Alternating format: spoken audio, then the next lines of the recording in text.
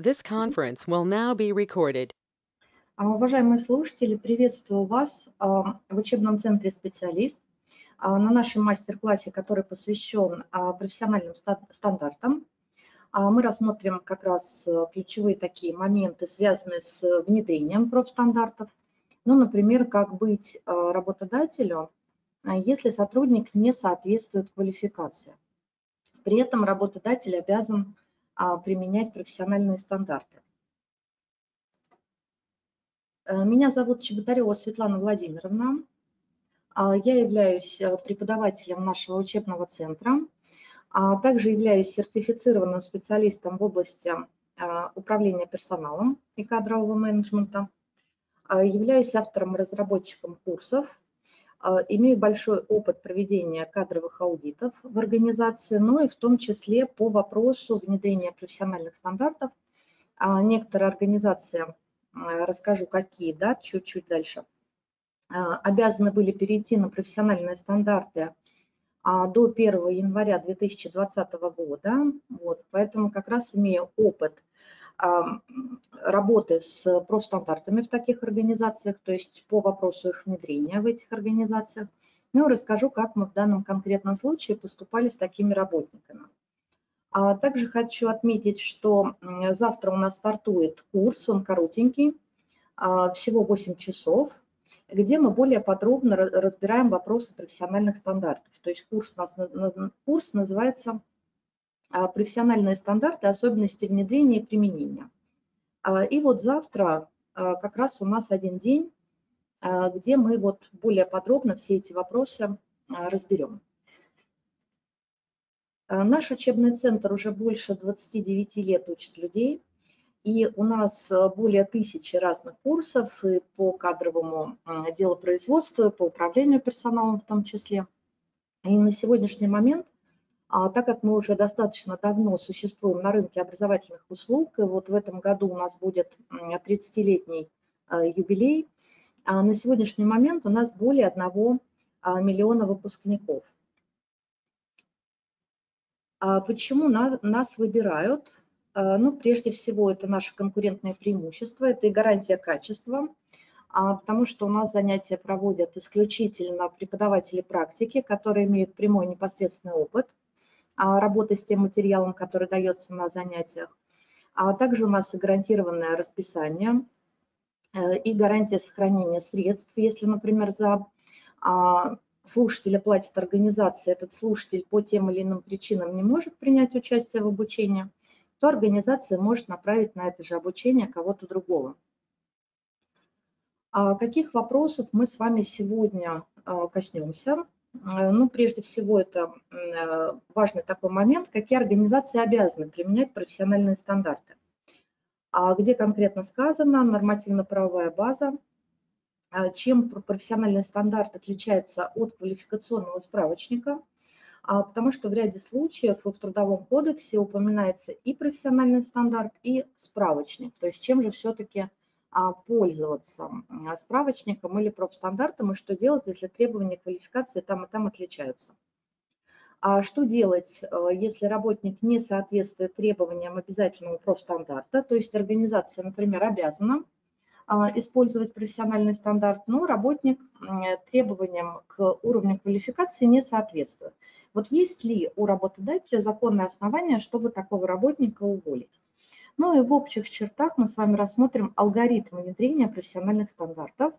А, Кстати, сам алгоритм, план внедрения профессиональных стандартов есть у нас на страничке курса, а, поэтому тоже можете себе а, скачать. Сейчас я даже отправлю. Вот в чате ссылочка на страничку курса, который посвящен профессиональным стандартам. И там как раз есть такая, такая вот информация. То есть есть файлик с, с алгоритмом внедрения профессиональных стандартов. А, Итак, а, что касается профстандарта. Вот э, сам термин впервые был использован в 1997 году а, в программе социальных реформ эм, на период до 2020 года в Российской Федерации. То есть достаточно давно еще упоминали о профессиональных стандартах, как э, о требованиях к уровню квалификации работников российских предприятий.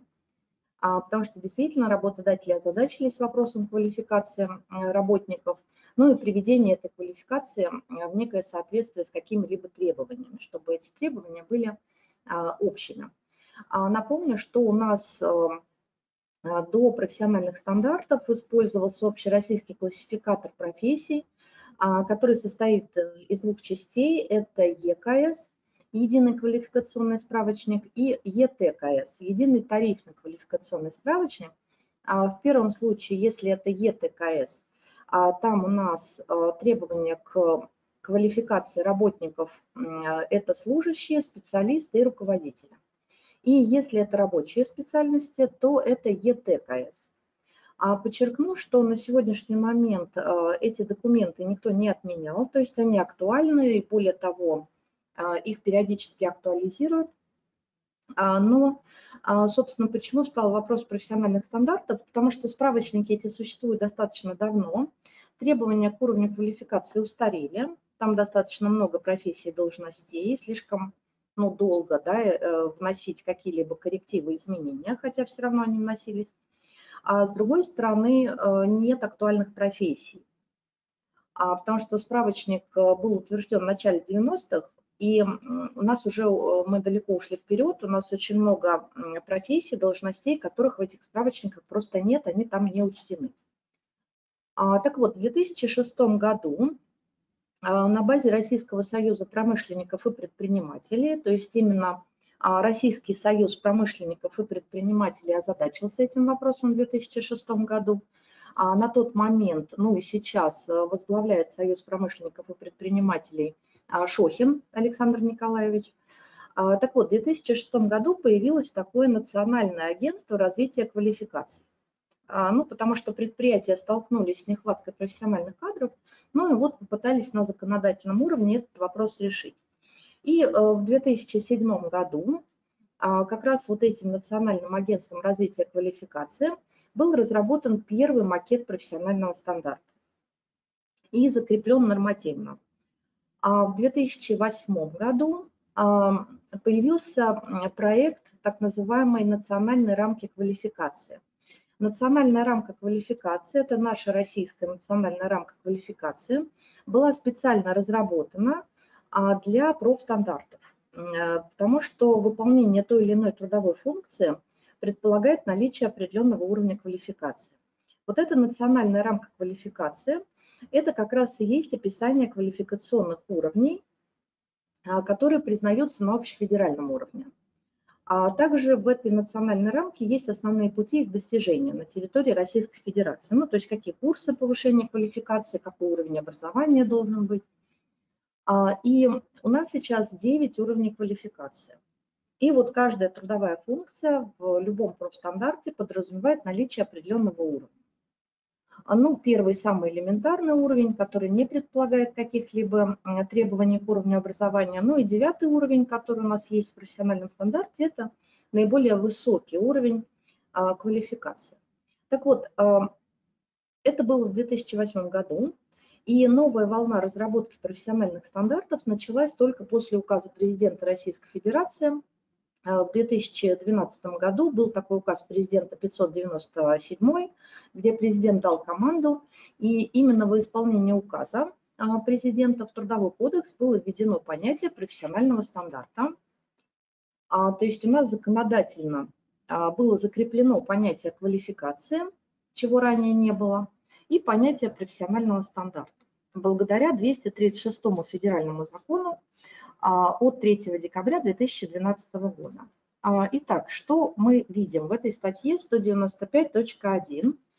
А, понятие квалификации. Ранее понятие квалификации у нас в законе отсутствовало.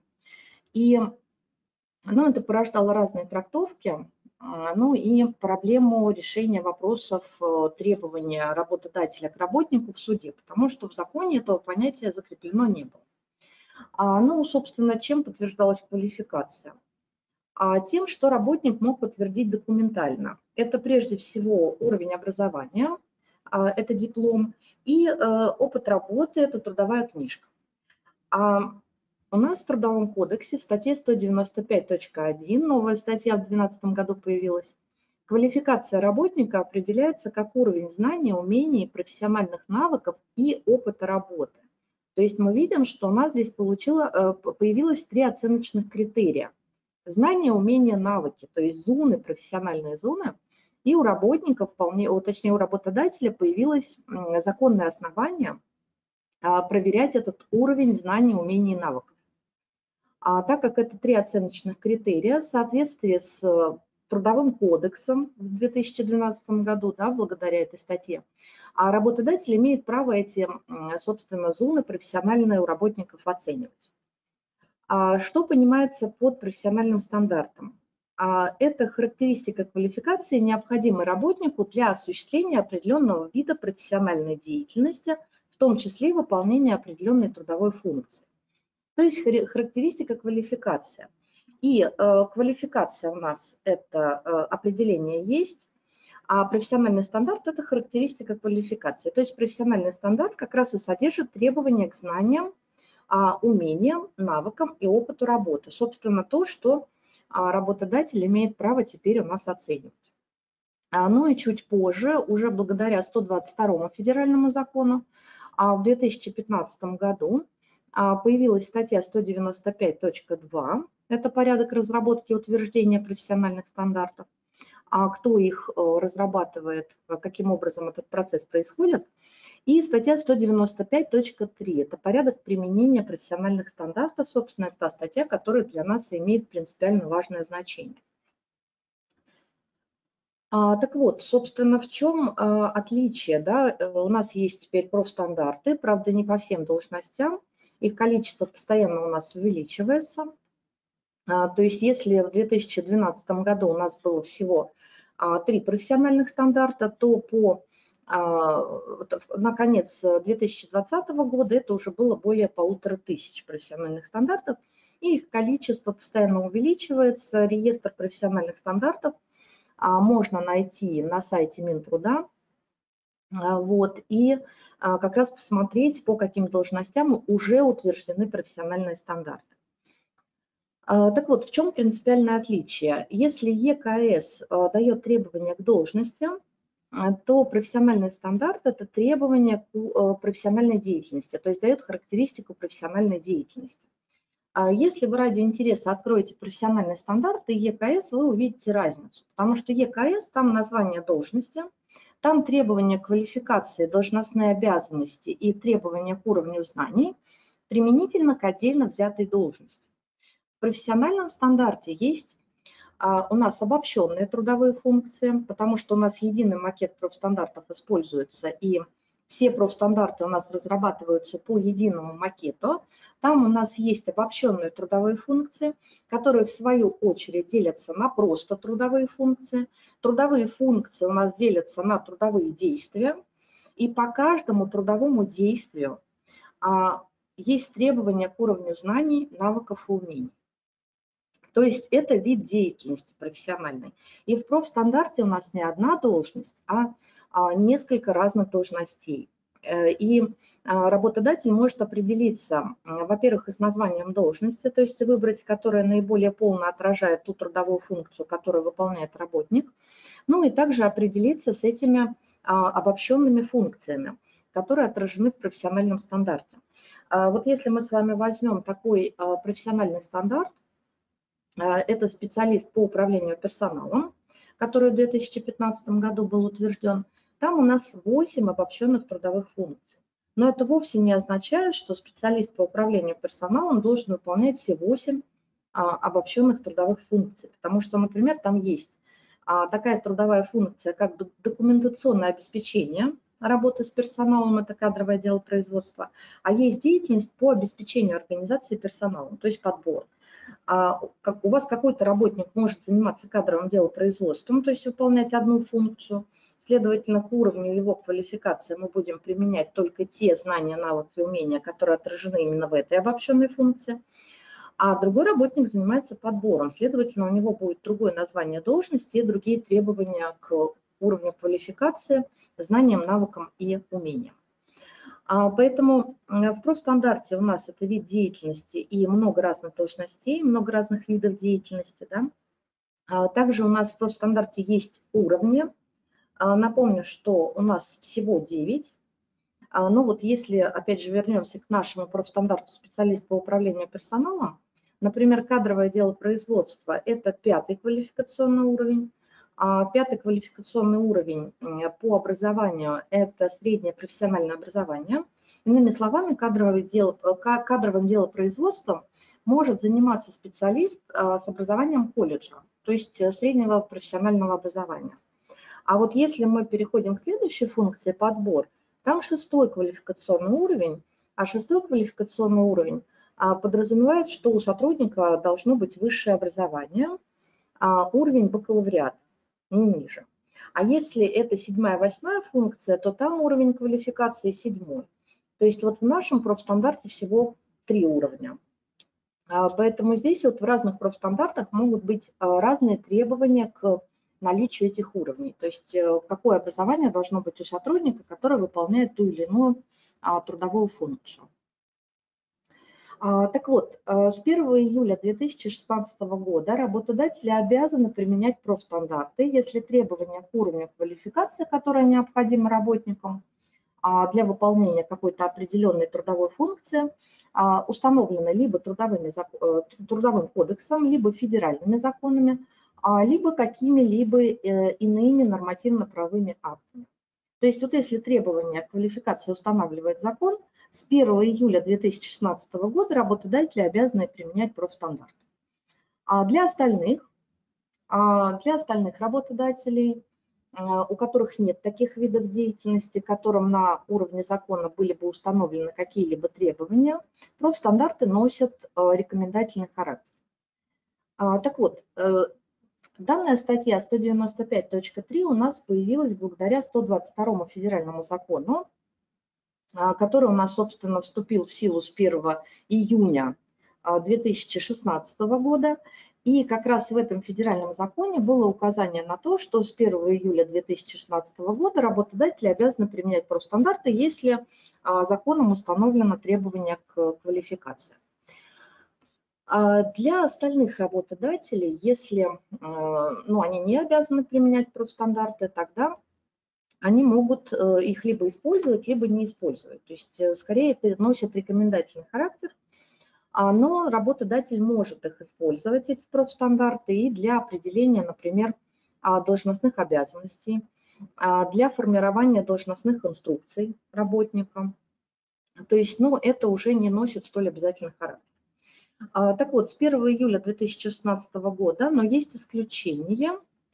У нас есть постановление правительства 584, что ряд организаций обязаны перейти на профстандарты с 1 января 2020 года. Это вот как раз государственная э, структура, муниципальные, государственные, унитарные предприятия. И вот они уже должны были полностью перейти на профессиональные стандарты до 1 января 2020 года. А о каких э, организациях идет э, речь? Это государственные внебюджетные фонды, а государственные или муниципальные учреждения, а, унитарные предприятия, а также государственные корпорации а, с долей государственного участия, более 50%. А вот для них все профстандарты обязательны. Что касается а, остальных компаний, ну вот где у нас есть упоминания по поводу применения профессиональных стандартов. А, прежде всего, это 57 статья. Если, что у нас сказано в 57 статье? А, если с выполнением работ по определенным должностям, профессиям, специальностям связано предоставление компенсации или льгот, а, либо наличие каких-либо ограничений на выполнение данной работы. Ну, льготы, компенсации – это прежде всего вредные опасные факторы. А также это могут быть какие-либо ограничения. Ну, например, а, ограничения для педагогов есть, что не принимаются лица с наличием судимости. А также где у нас еще есть указания, а, это, например, если Трудовой кодекс берем, это статья 350 Трудового кодекса, это медицинские работники. Еще у нас в Трудовом кодексе упоминаются лица, которые принимаются на подземные работы, это статья 330.2. А вот если вы предоставляете какие-либо льготы и компенсации, то вы руководствуетесь требованием 57 статьи. И в этом случае и наименование должности, и э, требования к уровню квалификации, они обязательны. При этом в 57 статье сказано или, или а, квалификационные справочники, или профстандарты. А почему, э, собственно, указано вот это вот или? Потому что э, профстандарты еще у нас внедрены не по всем сферам деятельности э, и не по всем должностям. А вот профстандарты, да, у нас содержат более полный перечень должностей, потому что профстандартов их меньше, да, на сегодняшний момент. Хоть их количество увеличивается потихонечку, и профстандарты будут потихонечку вытеснять ЕКС, но пока у нас, а, как у работодателя, есть выбор. То есть мы можем использовать профстандарт или справочник, как это сказано в 57 статье. А если также законом установлены требования к квалификации, это статья 195.3, а, ну, например, возьмем 402 федеральный закон, для определенных сфер деятельности есть требования к уровню квалификации главного бухгалтера что главный бухгалтер должен иметь опыт работы в сфере бухучета а, не менее трех лет из последних пяти лет, у него должно быть высшее экономическое образование и а, не должно быть судимости за экономические преступления. А вот если требования квалификации в каком-либо законе определены, то значит мы обязаны использовать профстандарт. Это вот статья 195.3. А, ну и, собственно, если профстандартов у нас нет, тогда мы руководствуемся а, справочником. А, если вот берем, да, вот такое противоречие может быть между требованием, которое устанавливает справочник, и профстандарт.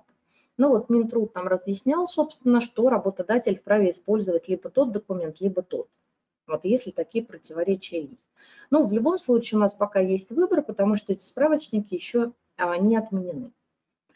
А где еще сказано, это, например, а, если тарифицируем работы и присваиваем тарифные разряды, а если работодатель применяет тарифную систему оплаты труда, то в данном случае речь идет о статье 143, либо если устанавливаем систему оплаты труда работников государственных и муниципальных учреждений. Это статья 144, а, так, например, если работник имеет шестой уровень квалификации по профстандарту, он не может получать меньше, а, чем сотрудник а, по аналогичной должности, которому, который по профстандарту установлен там пятый уровень квалификации.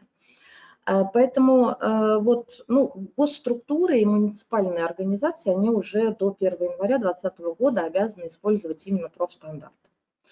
А, и еще, вот э, нам как раз Игнат задал вопрос, возможно, забегая вперед, но можно ли а, внедрить профстандарты на предприятии локальным нормативным актом, разработать э, а, под свои должности. Конечно, Игнат так и делает. То есть если у нас есть должности, по которым профстандарты обязательны, это в любом случае мы должны вносить изменения в локальные нормативные акты. Если мы сами, как вот э, работодатель, э, сам желает сделать эти профстандарты обязательными, то, конечно, да, прежде всего работодатель будет вносить изменения в локальные нормативные акты, либо разрабатывать новый локальный нормативный акт. А, но так определенные требования можно установить и на уровне правил внутреннего трудового распорядка. Поэтому э, ответ утвердительный на ваш вопрос. Если требования профстандарта будут закреплены в локальном нормативном акте организации, то это в любом случае обязательно. А разрабатывать локальный нормативный акт работодатель имеет право, э, применять профстандарты, даже если не обязан, к своим должностям тоже имеет полное право. Ну, собственно, статья 8 Трудового кодекса у нас так и называется локальный нормативный акт. Поэтому, конечно, да, конечно, может. И а, даже если мы их не обязаны Э, применять профессиональные стандарты, мы все равно первое, с чего начнем, это с локального нормативного акта. То есть мы это должны как-то закрепить документально, чтобы потом обосновать, например, причину отказа работников, работнику, соискателю, да, почему мы его не берем, что вот уровень его квалификации ниже, чем установлено профстандартов.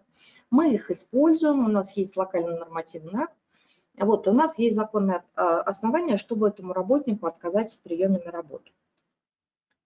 А, так вот, э, Игнат, поставьте плюсик, если ответила на ваш вопрос, да, для меня, собственно, это важно. Если нет, то тогда поясню, если что. Так вот, работодателями применяются профессиональные стандарты при формировании кадровой политики. В отношении разных вопросов они могут использоваться. Ну, так как у нас есть профстандарты, там квалификация, знания, навыки, умения – а, во-первых, это полезно и самому работнику, потому что работник будет понимать, какую трудовую функцию он выполняет и а, какие требования к его уровню квалификации устанавливаются на уровне профессионального стандарта. А, работодатель также будет понимать, что оценивать, если использует в работе профессиональные стандарты, а там закреплены требования к знаниям, навыкам, умениям, то есть что оценивать. Ну и здесь также работодатель будет понимать, каких знаний не хватает, и более полно формировать программу обучения и развития. А также должностные инструкции.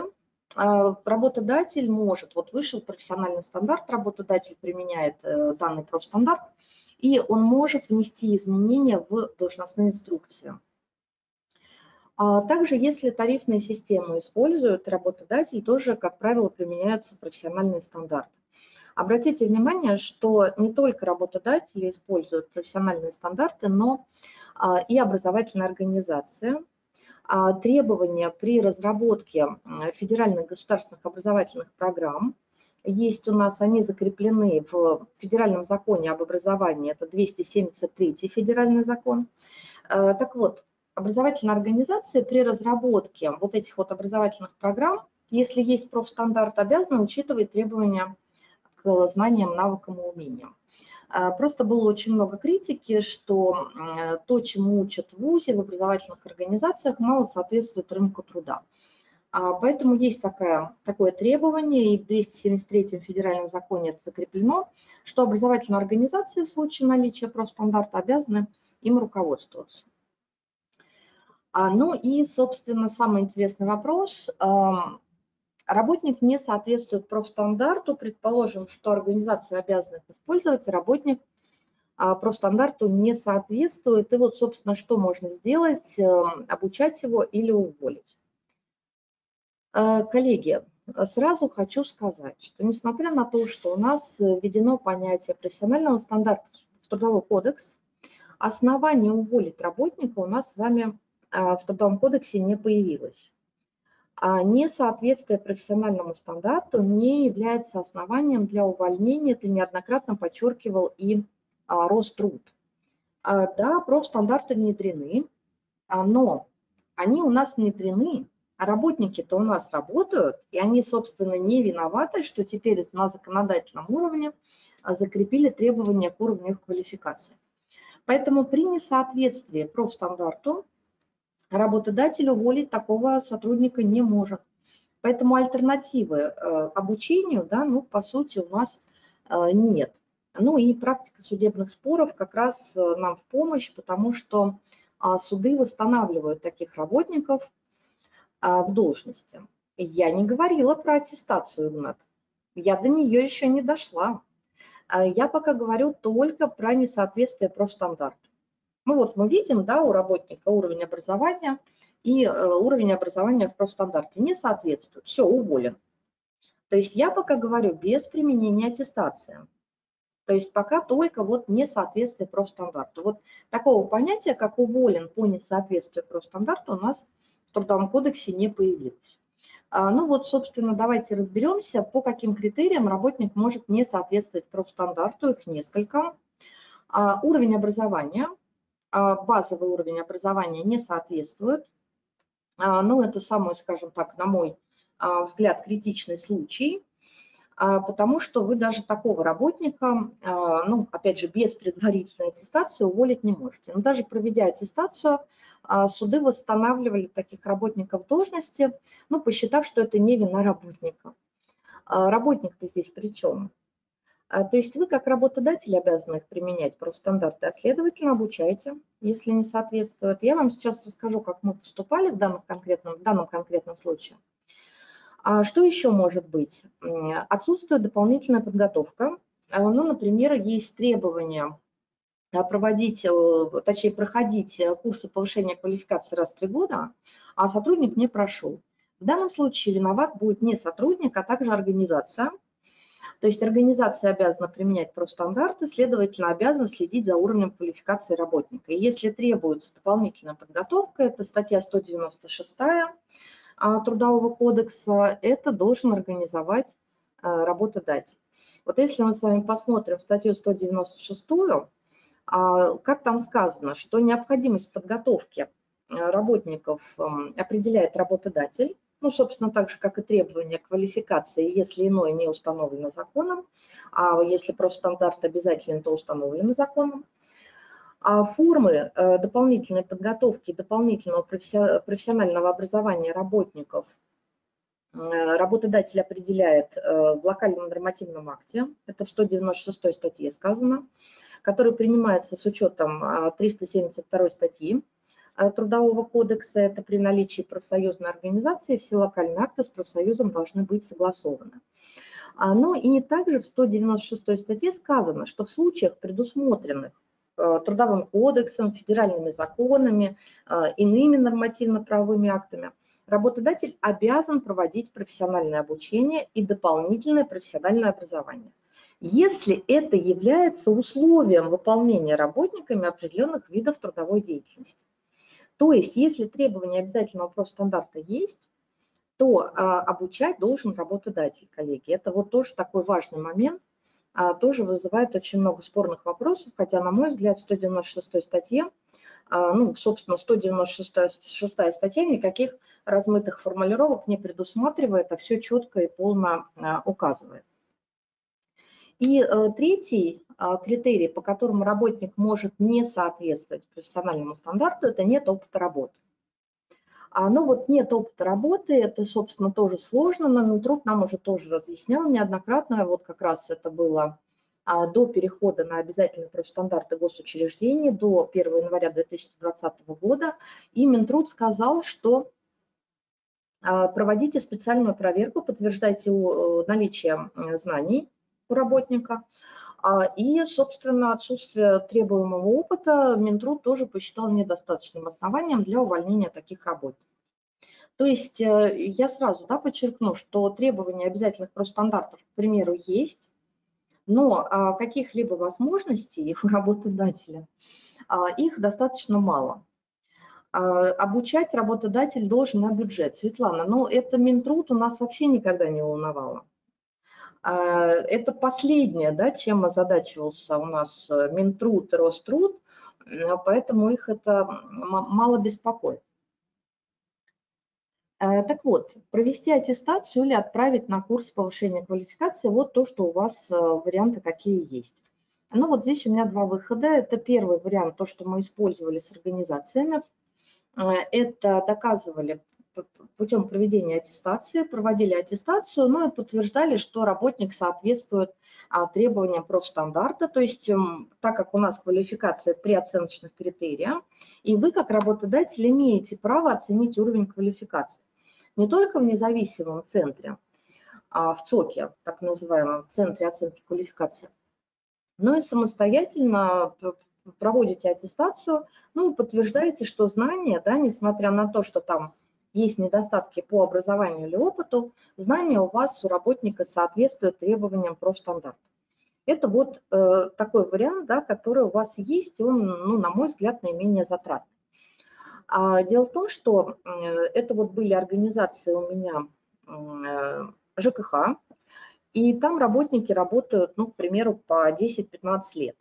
Естественно, эти работники никогда не озадачивались э, не то, что там высшим образованием, ну и вообще каким-либо повышением квалификации. Просто люди работали себе спокойно, а потом сказали, вот у вас профстандарты, и вот, собственно, у вас требования к уровню квалификации.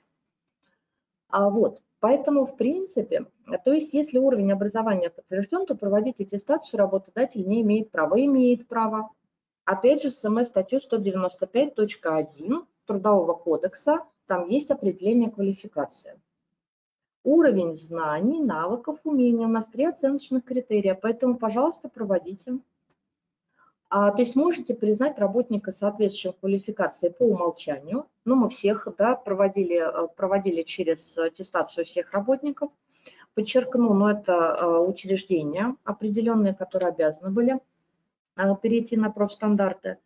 а, и подтверждали, то есть аттестационная комиссия подтверждала их уровень квалификации. Обратите внимание, что если вы откроете профессиональный стандарт, там есть или-или, не то и другое, да, а или-или. То есть если у вас уровень образования или опыт работы, да, если есть определенный опыт работы, и вы проверили а, знания, навыки, они соответствуют тем знаниям, которые в профстандарте определены, а у вас есть протокол аттестационной комиссии, вот вам подтверждение того, что работник соответствует требованиям квалификации.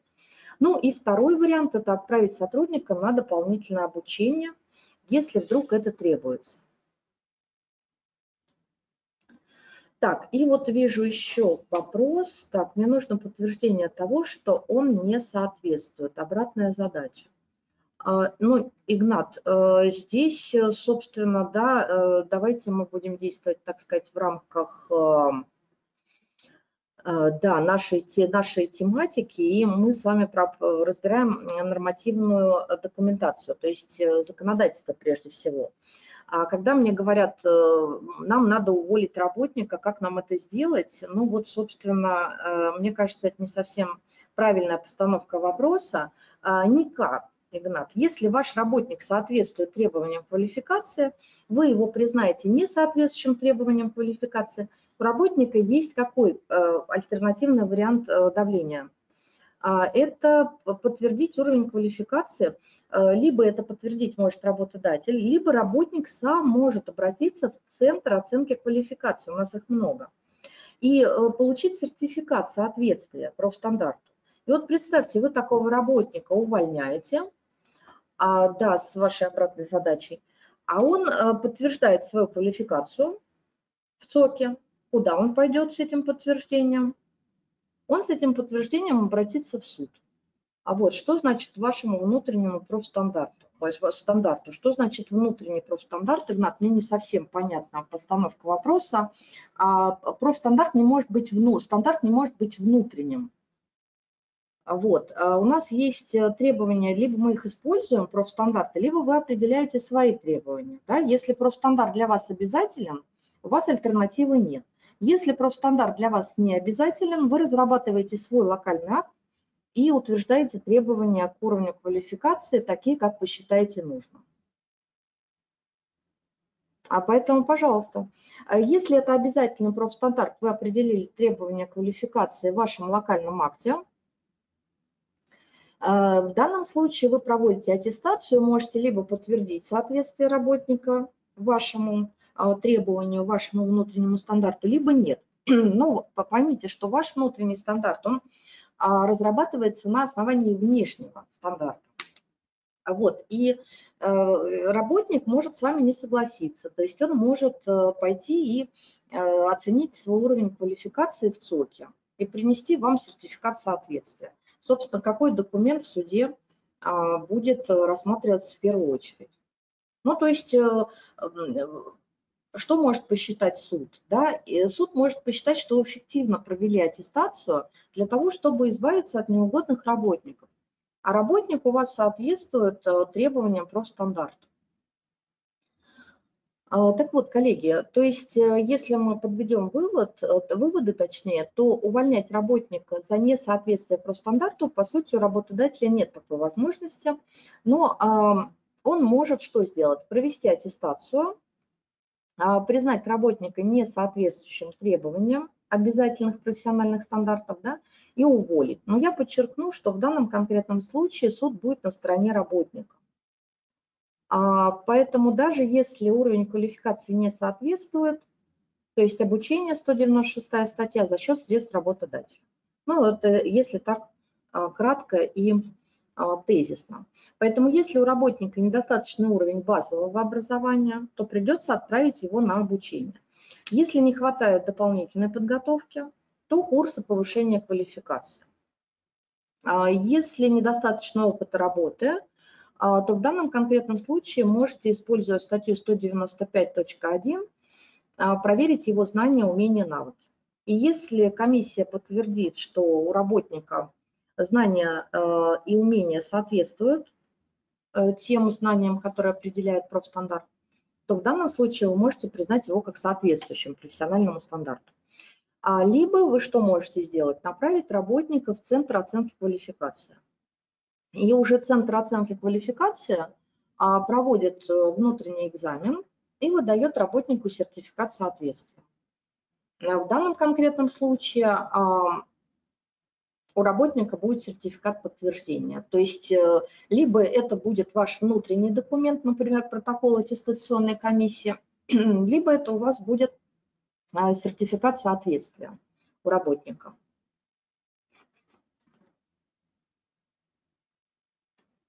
Что касается применения профессиональных стандартов при проведении аттестации, работодатель, даже если профстандарты не обязаны, он а, может использовать их при проведении аттестации. Это прямо сказано в пункте 25 постановления правительства номер 23, а, что работодатель применяет профессиональные стандарты при организации обучения и аттестации работника. А, подчеркну, что, допустим, профстандарты для нашей организации стали обязательны, мы э, что делаем? Проводим аттестацию, а, так как вот мы это делали, а, когда внедряли профессиональные стандарты в сфере ЖКХ. То есть мы проводили аттестацию. Это единственная оценочная процедура, которая регламентирована Трудовым кодексом.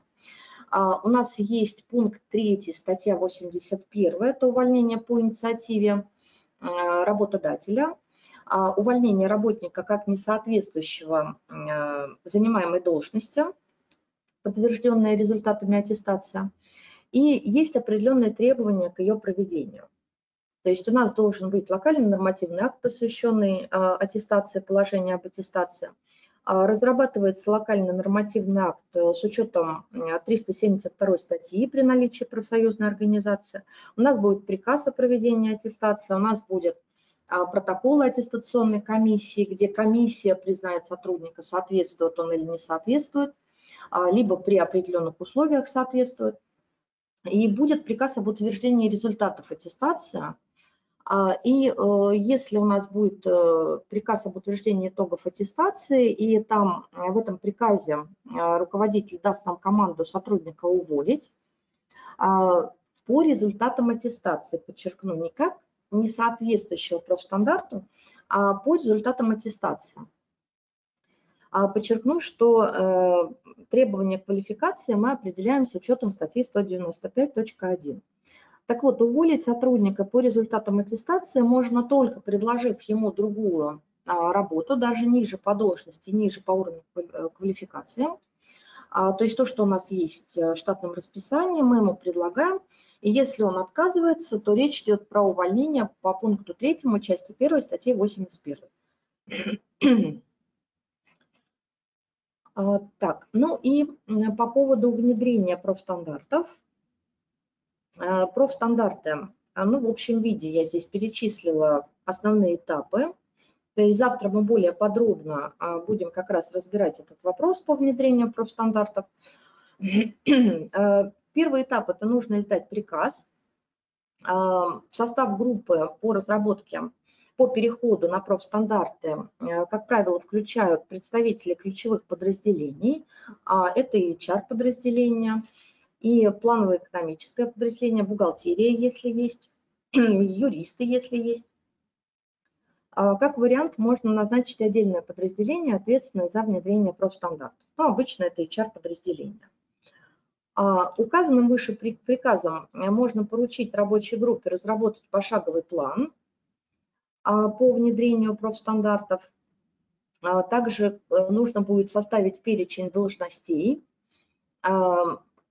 в отношении которых установлены требования к уровню квалификации.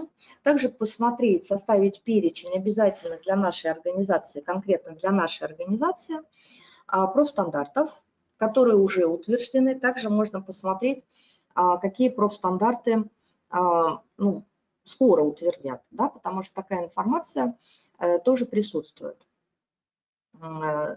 Далее, утвердить план действий по внедрению профстандартов. Ну и также целесообразно предусмотреть порядок внесения изменений в план, то есть если э, у нас будут дополнительные профстандарты вступать в силу. Вот, поэтому, э, ну, это достаточно сложная процедура, И вот как раз планом по внедрению профстандартов у вас может быть предусмотрено проведение аттестации работников. Но подчеркну, что мы подробно об этом поговорим завтра, то есть и какие документы, как их оформить, как внести изменения в штатное расписание. Стартуем, да, у нас всего один день, 8 часов. Ну и какие компетенции можно будет э, дополнительно добавить в свое резюме. Это как раз сформировать план работы по внедрению профстандартов, то есть то, что, чем мы будем заниматься на нашем занятии, составить перечень уже принятых профстандартов, внедрить э, изменения в штатное расписание, то есть составить приказ, а также каким образом соотносить должности в профстандарте с нашим штатным расписанием перед тем, как вносить изменения в штатное расписание. А также коснемся очень подробно вопросов, э, связанных с разработкой должностных инструкций, с определением требований к уровню квалификации, как это правильно сделать, как провести аттестацию с учетом требований профстандартов, как оформить перевод или увольнение работника, а также организовать обучение сотрудников. А, у нас, э, ну вот профстандарты, курс профстандарта, он коротенький, является частью а, дипломной работы. У нас новая дипломная работа, а, программа появилась, это менеджер по управлению персоналом, куда входят 10 курсов разных. И профессиональные стандарты у нас как раз туда входят, в эту дипломную программу. Э, если вы уже у нас обучались и а, проходили, например, кадровые курсы, то вы их сможете, например, зачесть в свою дипломную а, программу. А при этом в случае, если вы это делаете, у вас есть год, чтобы принять решение. Ну, например, вы обучались у нас э, по каким-либо курсам, например, а, проходили у нас э, курс менеджер по обучению и развитию или менеджер по оценке и аттестации, и потом вы решили а, все-таки пойти на дипломную программу. Вот в данном конкретном случае у вас, у вас все эти курсы а, будут зачтены. У нас разные форматы, то есть есть и очное обучение в группе непосредственно в аудитории, есть очно-заочное, есть э, возможность подключиться по вебинару, то есть если вы не можете присутствовать очно, а записались, то всегда можно подключиться. Э, в личном кабинете у вас полный пакет материалов будет по нашему курсу.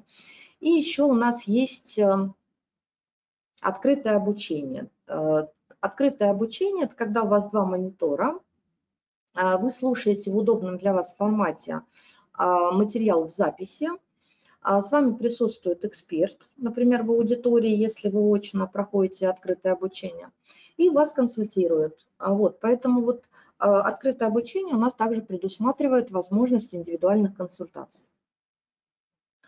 Ваши вопросы вижу, уважаемые слушатели, и сейчас на них отвечу.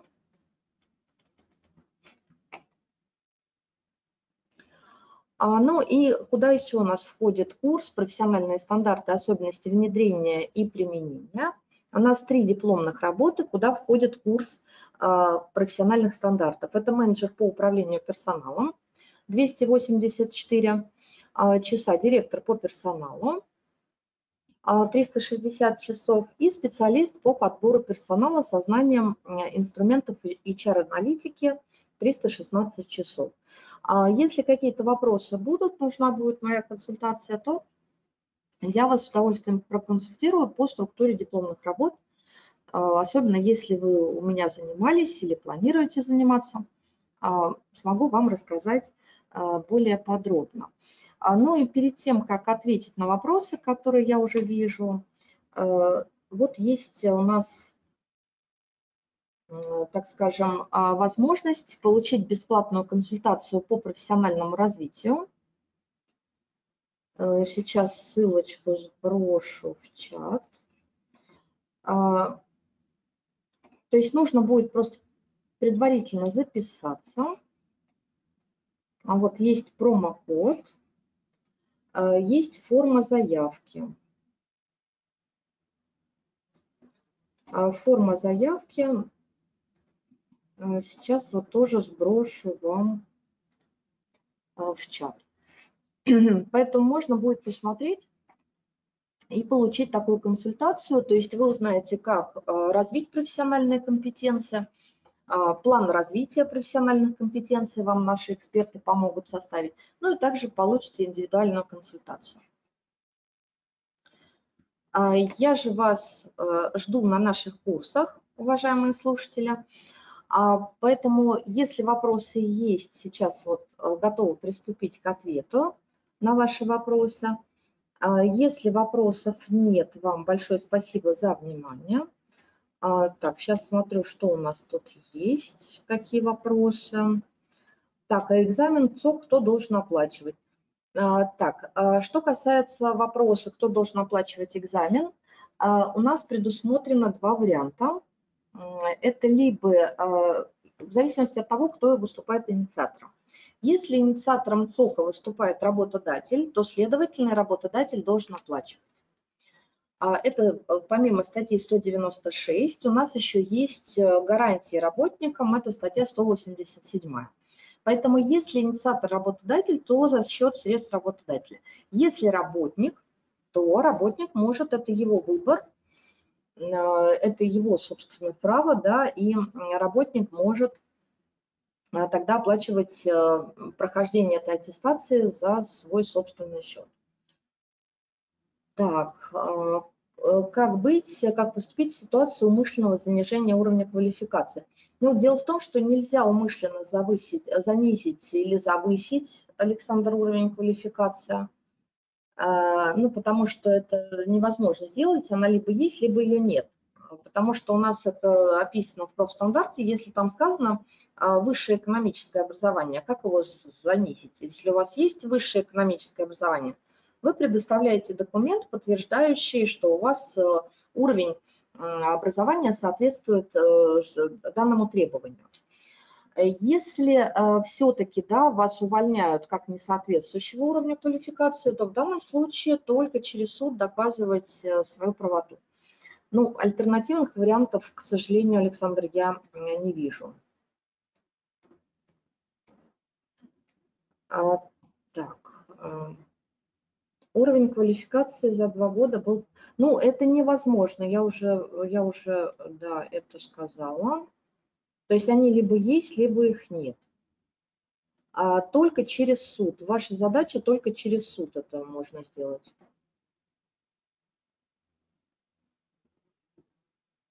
А, ну, Александр, только через суд я в данном случае ничем помочь не могу. Пока у нас альтернативных рычагов нет.